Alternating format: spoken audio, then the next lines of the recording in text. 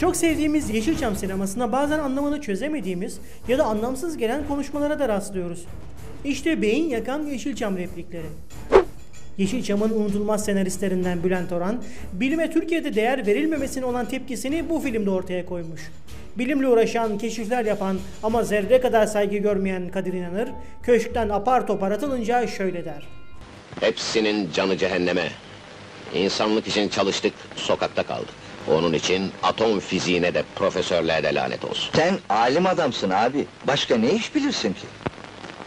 Ama öğreneceğim. Neyi öğreneceksin? Kumarbazlığı, itliği, hergeleliği. Bundan sonra itliğe ve serseriliğe başlar.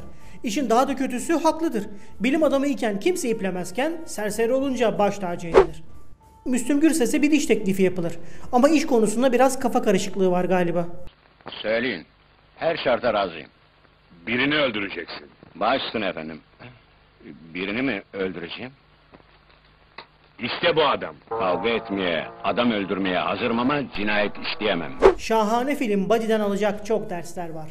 Eğer arkadaşınız dayak yemek üzere ise şu şekilde bağırarak onu kurtarabilirsiniz. Baba vurma uzaylı!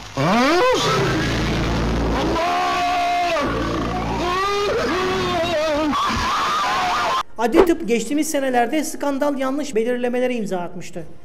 Ah işte şöyle bir adamları olsaydı. Komiserim, tecavüze uğramış galiba. Nereden anladın?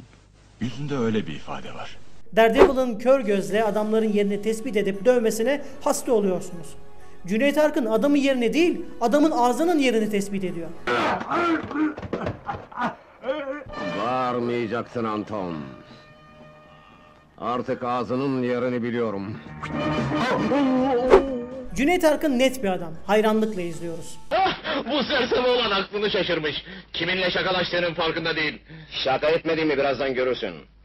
Ben senin kancık kelleni ödlek bedeninden ayırmaya geldim. Beyin yanması üzerine yanma diyorum sana. Zeki Müren önce uçağı durduruyor. Durdurun uçağı iniyorum. Çoktan hareket ettik bile. Sonra kapıyı açıp paraşütle atlıyor. İnerken de yolda şarkı söylüyor.